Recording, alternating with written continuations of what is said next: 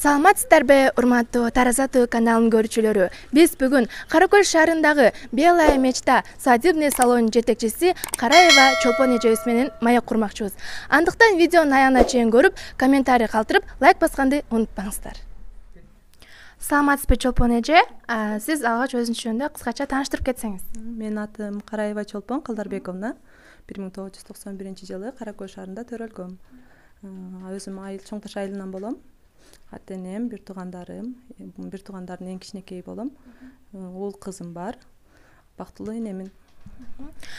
Бул кара көл шаарында свадебный салонду сиз гана ачыптырсыз кубанычтабыз. Бул идея сизге кайсыл жактан келди эле?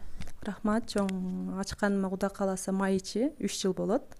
Эки миң он сегизинчи жылы май ичинде ачкан экенм убакыт билинбей эле өтөр экен да. Мен жаш кезимен өзү жылтыр жылтырга кызыкканман байланыштуу ошо ручная работа деп коет диадема корона дегендерди жасап кызыкчумун да. Ошентип жүрүп анан кийин ошо свадебный салонго өтүп кеттим да. Ошо мындай карасам кара көлдө выбор жок экен. Свадебный салон анан ачканга ачсам деп чечтим. Чолпон эже сиз башында бул көйнөктөрдү кайсыл жактан алып келгенсиз? Жана канча көйнөк менен баштагансыз? Мен башынан он беш көйнөк менен баштадым. Азыр жетимишке жакындап калды көйнөктөрүм кудай кааласа ошо казакстандан анан бишкектен алдыртып жатам. Чолпон эже бул көйнөктөр сатылабы же прокатка берилеби жана баасын дагы айта кетсеңиз мурунда сатылчу бир эки жыл мурда сатып алабыз дегендер кардарлар көп болчу да. Азыр эми сатып алган эмнегедир жок эле болуп калды да жок эле эсеп болуп калды. Көбүнчө прокатка эле алышат.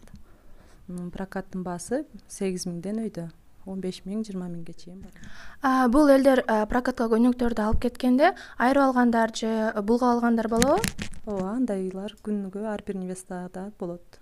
А сиз ал айырып алгандарды же булгап алгандарды кандай чара колдоносуз же штраф салынабы ар бир невесталардын караган мамилесине карайм да менчи өзүм жөнөкөй болгонгобу эгерде айырып койсо штраф салам азыраак кылыпчы. Анан кийин кийинкилер бар экен өзүлөрүнүн каалоосу менен айтпай дебей билгизбей тигип келгендер болот да. Ошолорго чоңураак суммада штраф салып коем. Чолпон эже сиз мындан башка дагы кандай жумуш менен алектенесиз?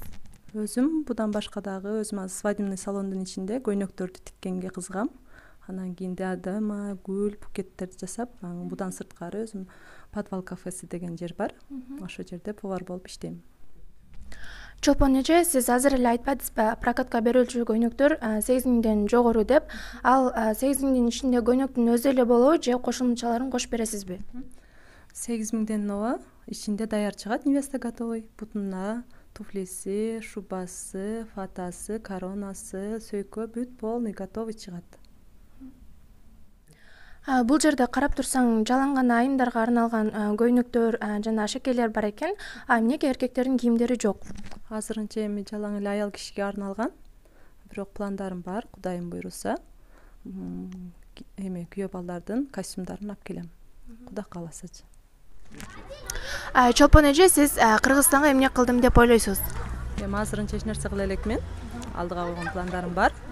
Аллахыма шүгүр секин секинден жетем тараза тв каналынын көрүүчүлөрүнө эки ооз сөз сүйлөй кетсеңиз мындайча айтканда эркин микрофон. Рахмат ушинтип келип турганыңыздарга. Иштериңиздерге ийгилик анан кийин ошо элдеримдин баардыгын орозо айы менен куттуктайм. Орогон орозо кармаган орозоңуздар кабыл болсун тилеген ой максаттарыңыздарга жетсиздер мындан дагы көп көп ийгиликтерге жете берсиздер чолпон эже сиз ушундай алтындай убактыңызды бөлүп бизге интервью бергениңизге чоң рахмат. Ишиңизге ийгилик эмне тилесеңиз тилегиңизге жете бериңиз